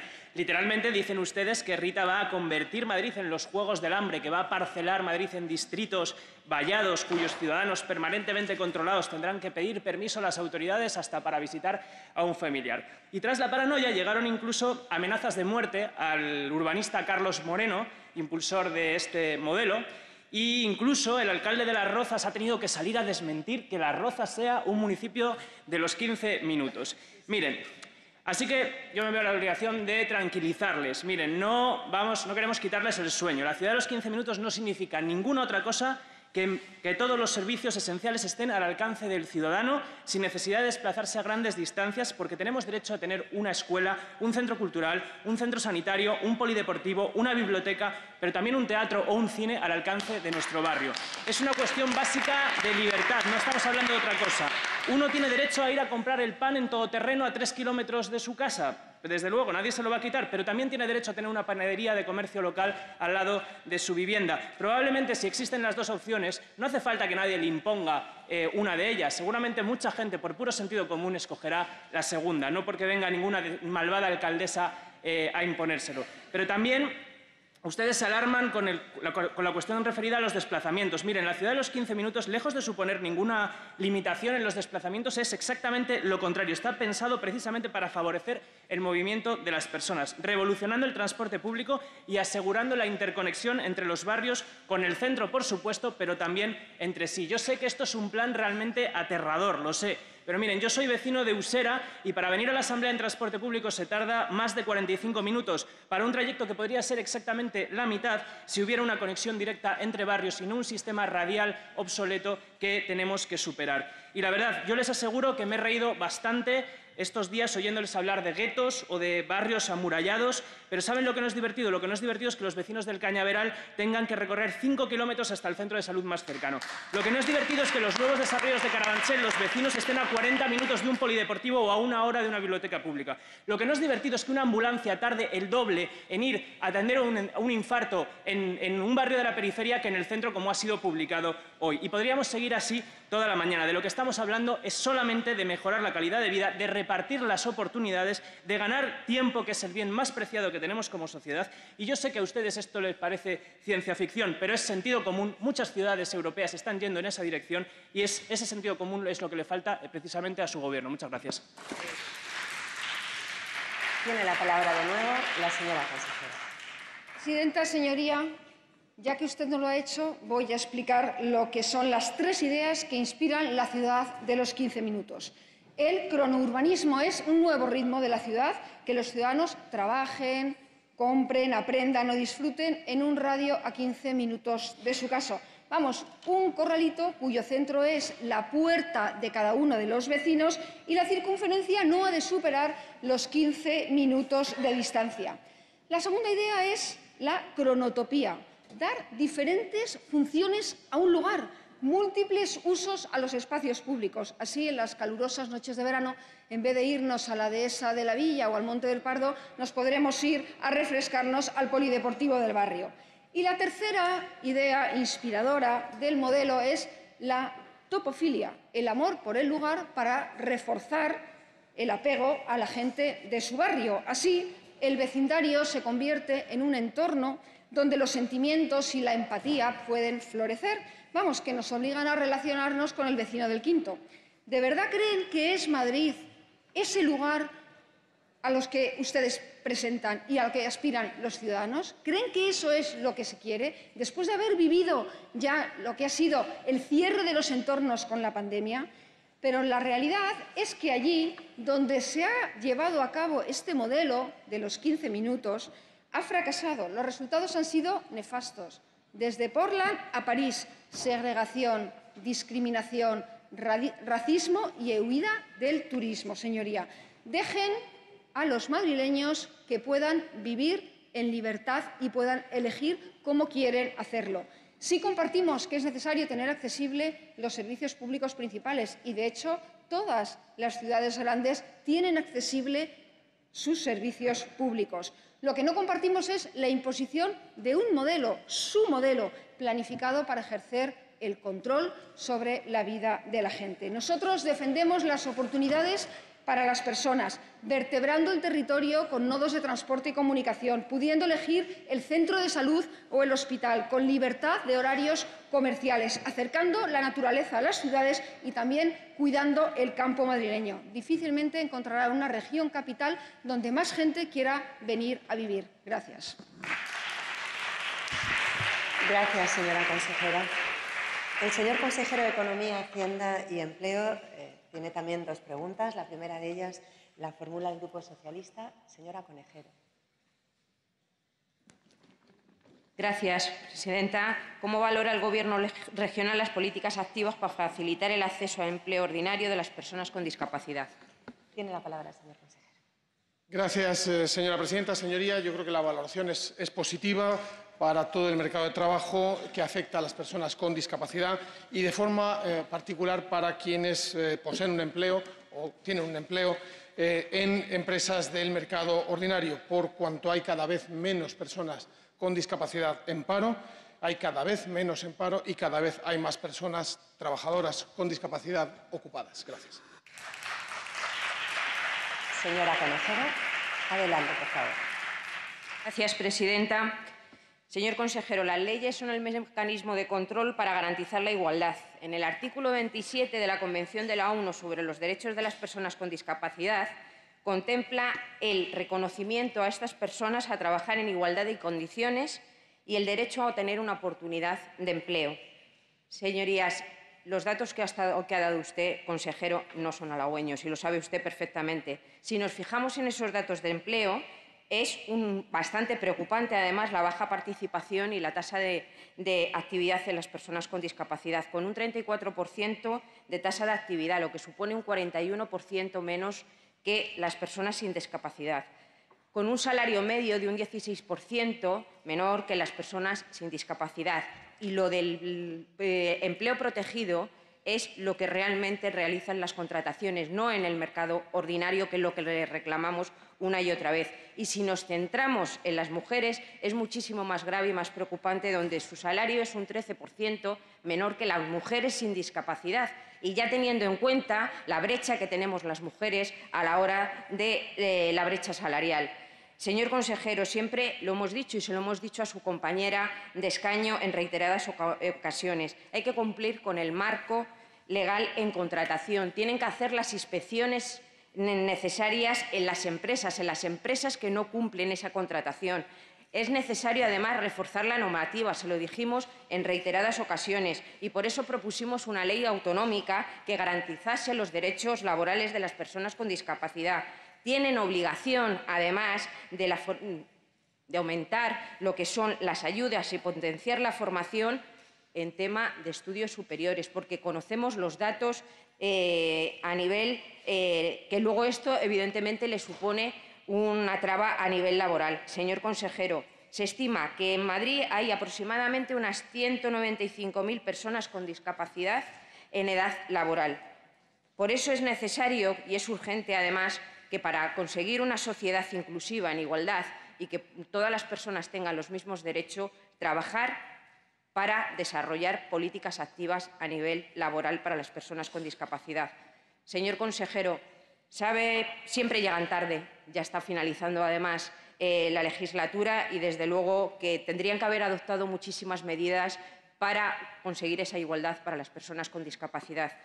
Pero bueno, llegan tarde, llegan tarde algunas cosas, a otras no. Para cobrar los bonos sociales, eso no llegan ustedes tarde, por supuesto pero no se preocupe que el próximo 28 de mayo el Partido Socialista pondrá en marcha estas políticas de manos de Juan Lobato, que será el próximo presidente.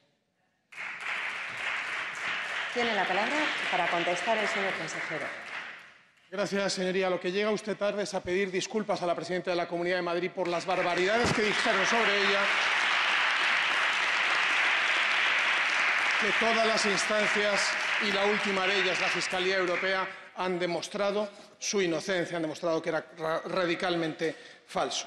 El desafío de la integración laboral es que las personas con discapacidad se puedan integrar en el mercado de trabajo ordinario o, si eso no es posible, que se transite hacia él desde los centros especiales de empleo. Su señoría ha hablado de distintas cosas, ha expresado su preocupación por la tasa de actividad, se le ha olvidado también decir que de la tasa de actividad que hay en todas las 17 comunidades autónomas de España, en donde hay una tasa de actividad más alta. ¿Dónde es? En Madrid, en la Comunidad de Madrid, que es donde estamos hablando. Para eso, ¿qué hacemos? Hacemos distintos, distintos programas. El principal, hay una política de un enorme impacto. 17.230 personas con discapacidad están trabajando con un 60% del salario mínimo abonado por la Comunidad de Madrid decir, el 60% de su salario se lo paga la Comunidad de Madrid y están trabajando en centros especiales de empleo. Eso significa una inversión de 81.300.000 euros eh, en el último año. No solo eso, además apoyamos con 3 millones y medio de euros la eh, ocupación de personas con discapacidad severa en el marco del empleo protegido, 4.397 trabajadores. Y para fomentar la inserción en el mercado ordinario hay dos líneas de ayudas. Una para contratación de personas con discapacidad, 2 millones de euros, 427 beneficiarios, y otra del programa de empleo con apoyo. En el año pasado le dedicamos 225.000 euros, 84 preparadores laborales. Luego estamos haciendo cosas, estamos haciendo cosas que sirven y que sirven eficazmente, porque ¿cuáles son los resultados? Como le digo, tasa de actividad en Madrid es el 42,2%, 7,6 puntos más que la media nacional. Siguiendo por el paro registrado entre las personas con discapacidad, que se redujo en Madrid, el paro registrado bajó eh, un 14,3%, 2.132 personas con discapacidad que estaban desempleadas salieron de las listas del desempleo Y terminando con la contratación, que en el acumulado del año 2022 aumentó respecto al 21 en un 6,1%, con un total de 19.555 contratos firmados. Luego, señoría, la preocupación existe, el trabajo también y los resultados también, aunque su señoría no haya. La siguiente pregunta al señor consejero la fórmula del Grupo Popular, señora Vigil. Buenos días. ¿Qué medidas está tomando el Gobierno regional para facilitar el crecimiento de la inversión en la Comunidad de Madrid? Señor consejero. Gracias, señora presidenta. Eh, señoría, la, inversión es la, base del crecimiento económico, eh, facilita la expansión o es la base de la expansión de los negocios, creación de otros nuevos, de la innovación eh, y, por tanto, todo ello como consecuencia de la creación de nuevos empleos, de nuevas oportunidades, de nuevas posibilidades para, para, las personas. Luego, por tanto, hacemos y tenemos que hacer mucho en su, en su favor. Según los últimos datos eh, de eh, la contabilidad regional, en el conjunto del año 2022 la inversión en la Comunidad de Madrid creció un 6,6%. Nuestra región lidera la atracción de capital extranjero con más de 21.800 millones de euros en el año 2021, que representan el 73% del total nacional. 21.800 millones de euros venidos desde fuera de España que se han destinado a financiar tejido empresarial, creación de eh, empresas, ampliación de todas las existentes, construcción de viviendas, compra de bienes de equipo, de maquinaria o a servir de palanca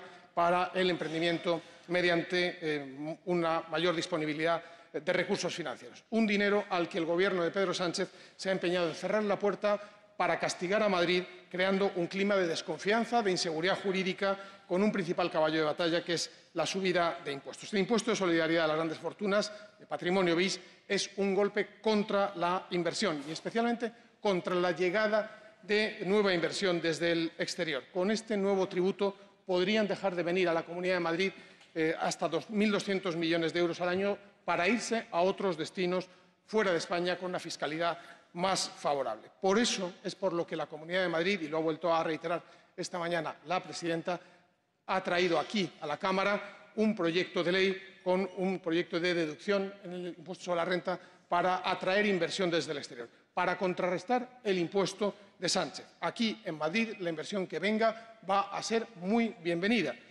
Segundo, una deducción del impuesto sobre la renta para el que llegue desde fuera trayendo inversión no es para extranjeros.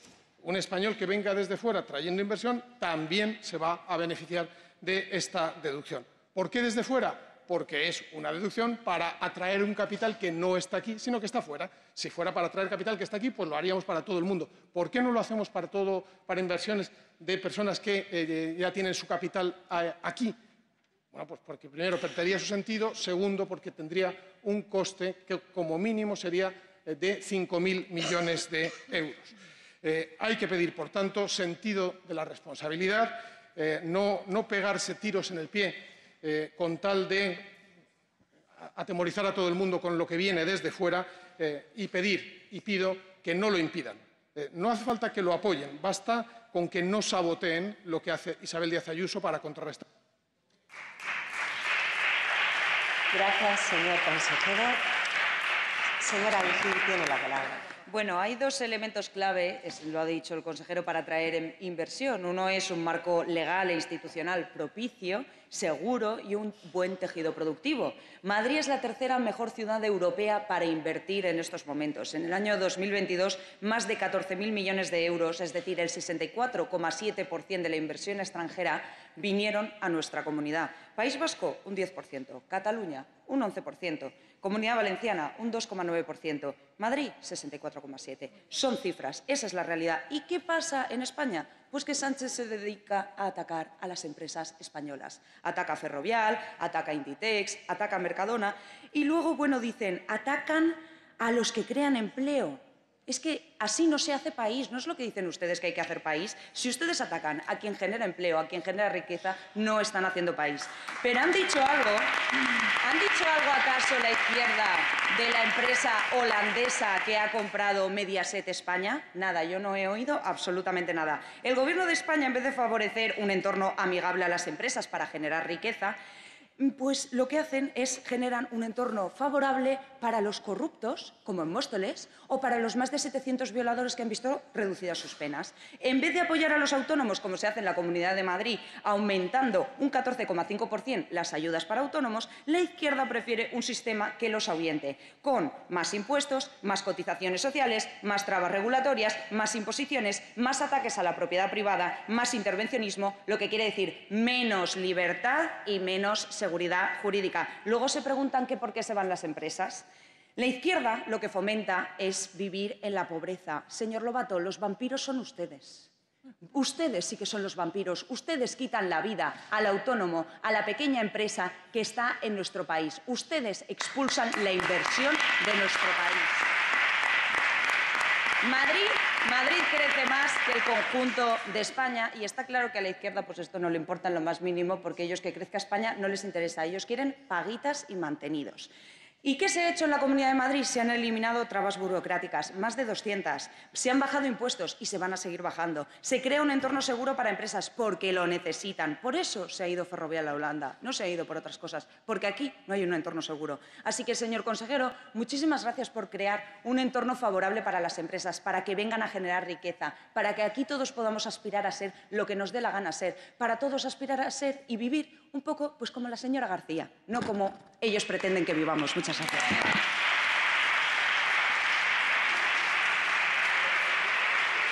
Pasamos a la pregunta que el Grupo Vox, señora Rubio, formula a la señora consejera de Familia, Juventud y Políticas. Muchas gracias. Grado de cumplimiento de la Ley 3 barra 2016. Gracias. Tiene la palabra la señora consejera. Gracias, señora presidenta. Eh, señoría, más allá de un grado de cumplimiento mayor o menor, lo que hay que destacar es que ha contribuido a proteger y a garantizar a las personas y a sus derechos por ser LGTBI. Gracias. Señora Rubio, tiene la palabra. Eh, muchas gracias. Bueno, como es una ley injusta, donde se privilegia a un colectivo por encima del resto, cuanto menos grado de cumplimiento, pues mejor. Pero el problema no es su grado de cumplimiento, ¿eh? sino que quede ahí con toda su capacidad de hacer el mal, como el germen desde donde se puede seguir avanzando en el totalitarismo woke y la vulneración de derechos cuando gobiernen aquí los partidarios de los privilegios ¿eh? de clase sexual.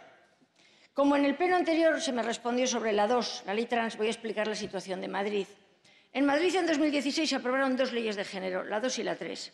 La 2, que desarrolla el tema de la transexualidad, y es donde el PP se abstuvo, se inmiscuye en asuntos puramente médicos, imponiendo por ley que todos los casos de incongruencia entre el sexo percibido y el real son iguales, impidiendo analizar otra causa que un presunto nacimiento en un cuerpo equivocado o realizar otra terapia que la llamada afirmativa, que tanto daño está causando. También permite los tratamientos en menores al margen de los padres, cuotas, privilegios. Dicen ustedes que la van a reformar. La otra es la llamada Ley Cifuentes, la 3, en la que se mantiene la prevalencia de la autopercepción sexual frente al sexo biológico, haciendo igual daño a los niños, impidiendo que se analice la causa de su incongruencia corporal.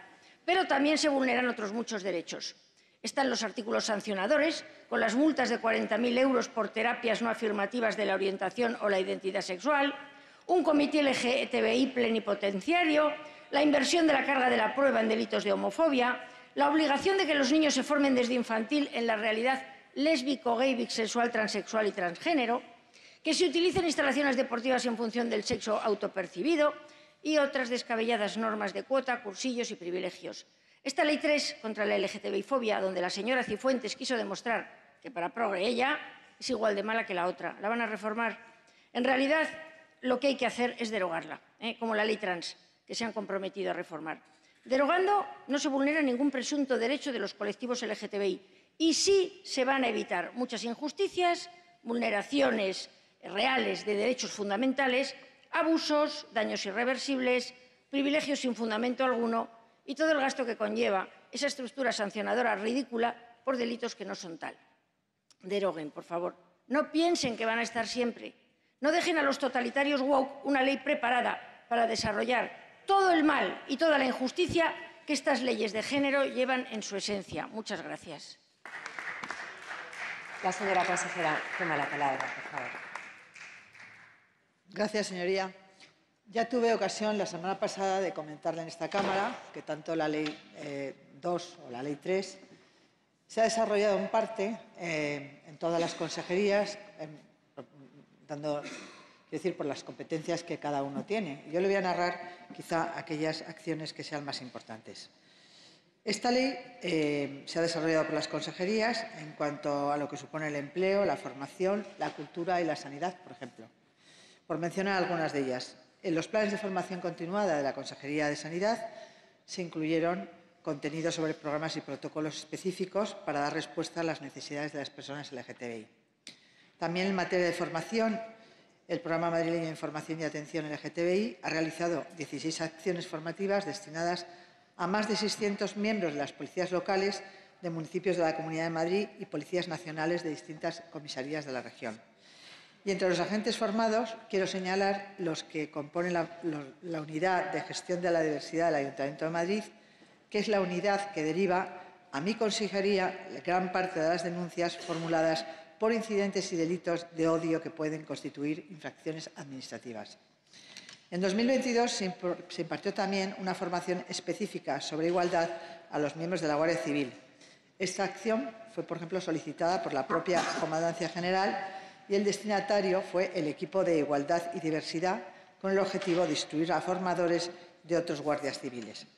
Y asimismo, de la, de la consejería que gestiono, anualmente destinamos subvenciones que permiten a las entidades del sector llevar a cabo proyectos dirigidos a las personas LGTBI que están en una situación de vulnerabilidad. Señoría, la ley ha tenido algunas cosas buenas, aunque a usted no le guste nada, y otras que son mejorables.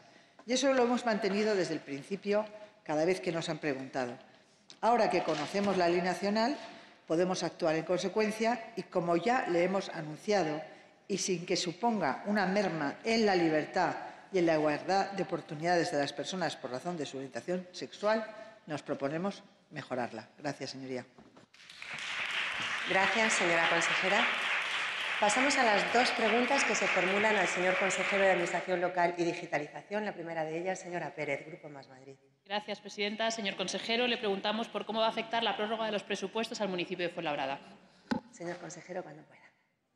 Gracias, presidenta. Señora Pérez, de ninguna forma. Lo que sí va a hacer en Fuenlabrada se va a seguir haciendo. Muchas gracias. Pues, señora Pérez, adelante, por favor. Gracias, eh, gracias, señor consejero, por tratar de darnos tranquilidad y decirnos que no va a pasar nada. Nos suponíamos que nos iba a dar esta respuesta, pero claro, entonces esto significa que va a seguir todo como hasta ahora. ¿Significa que no van a hacer ustedes el centro de salud de Viveros tampoco en 2023? Es decir, que va a pasar lo mismo que ha pasado en los últimos diez años, que hace ya que lo prometieron ustedes. ¿Van a ampliar la plantilla de médicos en el centro de salud Castilla-La Nueva o no va a pasar nada? Va a seguir como hasta ahora, da igual que haya prórroga o no de presupuestos. Estamos tranquilos, nos dicen, pero entonces tampoco va a cambiar nada en sus políticas de empleo en toda la zona sur de la región. ¿Van entonces ustedes a mantener Fuenlabrada entre las principales ciudades con, peores cifras de empleo juvenil? En realidad no se lo están poniendo nada fácil a la juventud fuenlabreña. Falta de plazas de formación profesional y el alquiler en su vida libre. Fuenlabrada es la segunda ciudad de la comunidad que más se han incrementado los precios de alquiler. ¿Y cuál ha sido su respuesta en la última década? La nada. No se construye vivienda pública desde 2010. Con respecto a educación, ¿seguimos con las promesas eternas en el tiempo? ¿Qué va a pasar con el centro Yvonne Blake? ¿Por fin van a avanzar y terminar las obras en el 2023 o se lo dejan ustedes al siguiente gobierno? Yo se lo pregunto también por irnos haciendo el listado de cosas que vamos a tener que hacer cuando lleguemos. Como es habitual en toda la comunidad y en especial en el sureste de la región, las plazas públicas 0-3 años son muy insuficientes con respecto a la demanda y también las plazas de formación profesional públicas muy insuficientes con respecto a la demanda. Plazas imprescindibles para el desarrollo integral de niños, niñas y adolescentes que depende al final de si sus padres, sus familias pueden pagárselas o no. El transporte tampoco es el tesoro de Fuenlabrada. El Metro Sur no ha dado las respuestas esperadas. La demandada parada de metro del barrio de Viveros sigue siendo un unicornio y parece que lo va a seguir siendo y la población queda a expensas de cercanías para poder desplazarse a Madrid. Sin ser un municipio de la Sierra de Madrid, el acceso a la capital muchas veces se hace tan difícil como si lo fuera, muy lejos de los territorios de 45 minutos. Entre otras cosas, vamos entendiendo por qué rechazan la proximidad. Además, el entorno de Fuenlabrada está tan abandonado como sus servicios públicos. Vías, y, vías pecuarias y caminos llenas de residuos, eh, de todo tipo de residuos, pero también industriales y de construcción y demolición. La Comunidad de Madrid ni lo limpia ni evita que se sigan vertiendo, evadiendo así su responsabilidad. Esta legislatura, que iba a ser la del municipalismo, dijeron ustedes, al final ha sido la de la profundización en el desequilibrio territorial, en el cada vez más evidente, cada vez más preocupante y cada vez más urgente de resolver. El sureste de la región no es ni un vertedero ni su ciudadanía es de segunda. Es necesario y urgente dar la vuelta a cifras como las de la precariedad, como las de la pobreza infantil, que en Fuenlabrada alcanza hasta el 29,6%. Hay que invertir en calidad de, de la sanidad pública, en la educación pública y en la conservación del entorno y el aire que respiran los fuenlabreños. Pero ya queda menos. En algo más de 70 días. Gracias, señora Pérez. Pues contesta y tiene la palabra el señor consejero, por favor. Gracias, presidenta. Pues señora Pérez, es que efectivamente sobra el alcalde. El alcalde lo ha hecho muy mal, muy mal. Mire, usted me ha hecho una pregunta muy rara, porque ¿por qué me pregunta por la prórroga del presupuesto para Fuenlabrada? Porque usted lo que da la sensación con esta pregunta es que los otros 177 municipios, 178, no le importan para nada. Y por eso me pregunta solamente por el que le importa. ¿Y por qué le importa? Fuenlabrada. Hay que preguntarse por qué hace esta pregunta. Pues porque las cosas en Fuenlabrada no funcionan mal, no funcionan bien. Y es porque precisamente en Fuenlabrada probablemente tengamos Silencio, al peor alcalde de toda la Comunidad de Madrid, a Javier Ayala. Y mire, eh, y ustedes son muy conscientes de ello. Y ustedes no tienen ahí representación parlamentaria, no tienen ni un solo concejal. ¿Y qué es lo que saben? Que lo está haciendo tan mal que pueden rascarle dos o tres concejales. Y por eso traen esto precisamente a este pleno.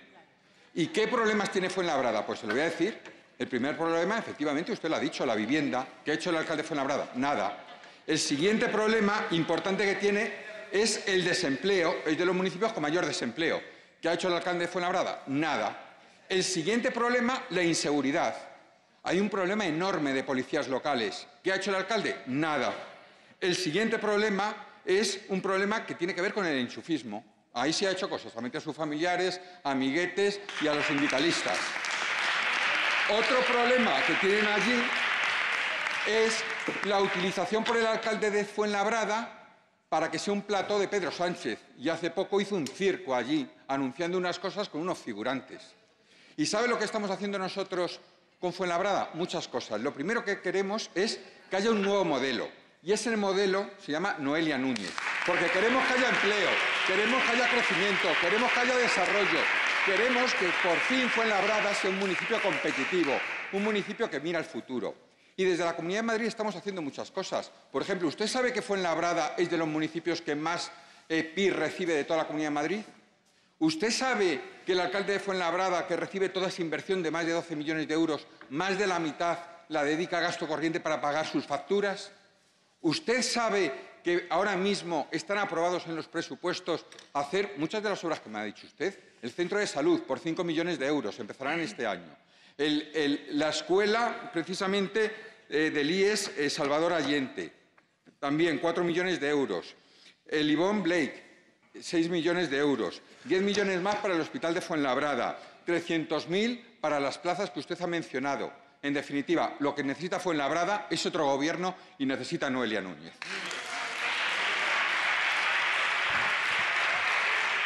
La siguiente y última pregunta de este pleno al Gobierno la dirige el señor Peña, Grupo Popular, también al señor consejero, señor Izquierda. Gracias, presidenta. Buenos días. Señor consejero, ¿cuáles son los principales elementos de la estrategia de digitalización de la Comunidad de Madrid? Señor consejero, adelante. Bien, pues muchísimas gracias. Eh, lo primero que quiero es empezar felicitando a todos los que han hecho posible esta estrategia. A los funcionarios, pero también a las empresas y muy especialmente a las entidades, entre otras CEIM y la Cámara de Comercio. Pero también a la presidenta, que por primera vez decidió que en la Comunidad de Madrid se hiciera una auténtica política digital. Partíamos de cero y nos fijamos un objetivo, y es crear una estrategia de digitalización de la Comunidad de Madrid que marcase la hoja de, hoja de ruta del futuro. Una hoja de ruta para la digitalización de los ciudadanos, de las empresas, de la sociedad civil y también de las administraciones. Ah, partíamos de ser una región más como muchas de Europa y hoy, en año y medio, hemos conseguido ser la principal región digitalizada de todo el sur de Europa y la que más está creciendo de toda Europa para convertirse en el verdadero pulmón de la digitalización europea. La señora presidenta hace unos días presentó esta estrategia en un acto en el que hubo más de 500 empresas, en un acto en el que estuvo prácticamente todas las empresas del IBEX 35 y todas las grandes tecnológicas. Un acto que fue de muchísima satisfacción porque Madrid por fin mira el futuro. ¿Y qué tiene la estrategia? Lo primero, apuesta por las personas y por los derechos digitales. En segundo lugar, por la conectividad y llevar el 5G a, todas las regiones, a todos los pueblos de nuestra región. Hoy Madrid ya es una de las regiones más digitalizadas de toda Europa.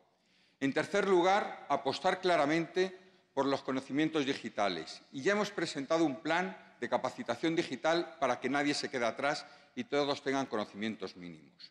En cuarto lugar, por una educación digitalizada. Queremos que todos los jóvenes conozcan las nuevas tecnologías y tengan capacidad de programación, porque sin duda ninguna es el futuro. En quinto lugar, lo que queremos es llevar la digitalización a todo el sector productivo, porque queremos que sean más competitivos y que además haya pleno empleo. En sexto lugar, lo que apostamos es por crear un gran hub digital, un gran ecosistema digital con las empresas tecnológicas más punteras. En séptimo lugar, apostamos por eh, las tecnologías más disruptivas, la inteligencia artificial o el IoT. En octavo lugar, por las startups y la innovación que va ligada directamente a ello. En noveno lugar, por crear un gran espacio de ciberseguridad, pese a la oposición de Vox y del Partido Socialista. Y en último lugar, lo que queremos es una administración 100% digitalizada. Vamos a pasar de una administración electrónica a una administración digital. Una administración que va a ser la más puntera de toda España y de toda Europa. Sin duda ninguna, el futuro es digital y esta estrategia es la palanca para conseguirlo. Muchas gracias. Gracias, señor consejero. Señor Peña, tiene la palabra. Gracias, presidenta. Señorías, es innegable que el futuro ya es el presente. Y yo no les voy a mentir como hizo Pedro Sánchez con la autoría de su tesis. Yo, por mi parte, le confieso que la mitad de este discurso que van a escuchar no es mío, sino trabajo de la inteligencia artificial. Esta es la mejor prueba de que estamos inmersos en un mundo digital. Por eso, desde este grupo parlamentario, aplaudimos la gran apuesta que ha hecho la Comunidad de Madrid por la estrategia de digitalización, que hoy ya es una realidad.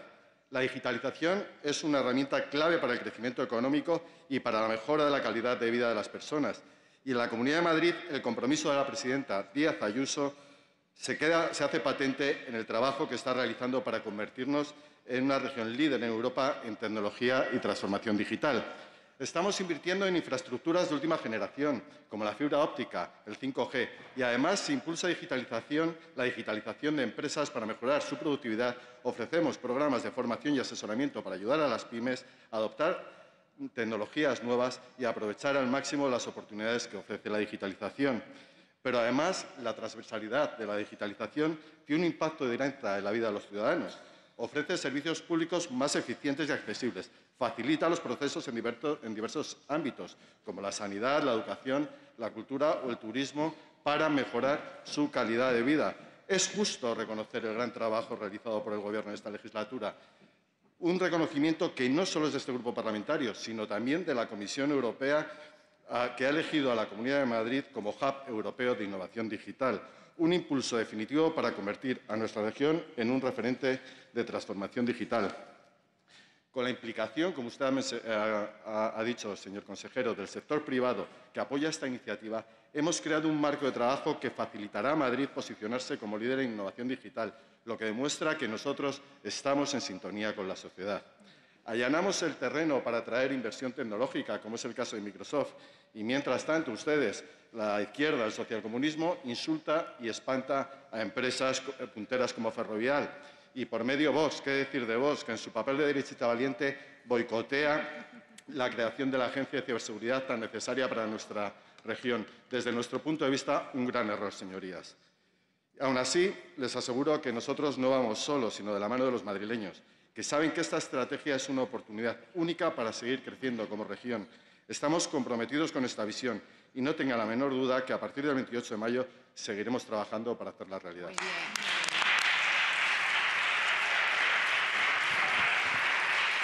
Pasamos, señorías, al siguiente punto del orden del día, el correspondiente a las comparecencias. La primera de ellas eh, la propone el Grupo Socialista, número 318-23. Comparece la señora consejera de Familia, Juventud y Deporte, hoy, perdón, Familia, Juventud y Política Social, para informar sobre las políticas de envejecimiento activo y saludable en nuestra región. Es la señora Morales quien expone el tiempo de tres minutos el objeto de la misma.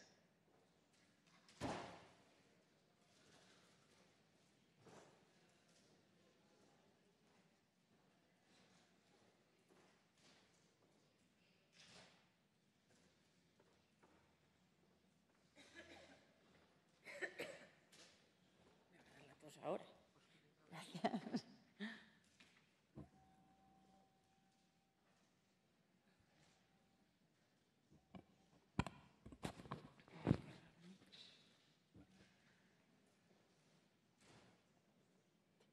Gracias, señora presidenta. Buenos días a todas y a todos. Y cuando me jubile, ¿qué? Me queda mucho por vivir. Quiero participar. Mi experiencia le puede servir a alguien. Quiero sentirme útil y disfrutar de lo que me quede junto a tu madre. Esta es la reflexión que mi padre me hizo hace unos días y es la que se hacen el millón doscientas mil personas mayores que hay en Madrid, cerca del 20% de nuestra población y que va en aumento. De este millón doscientos mil, 236.000, una de cada cinco, viven solas, la mayoría mujeres.